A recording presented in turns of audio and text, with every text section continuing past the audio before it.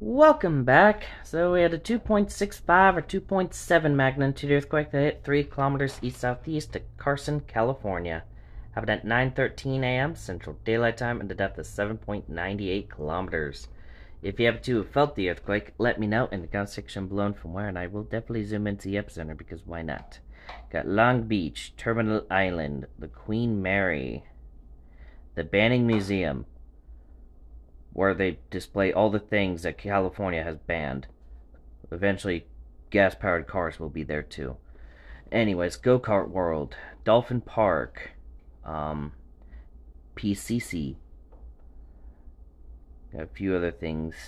VM International, Advantage Molding, Gecko Engineering.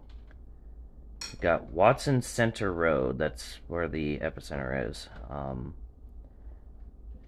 there's a sidewalk there that's probably full of tents now. Anyways, um, that's really about it. Stay safe out there. See you in the next video. Bye.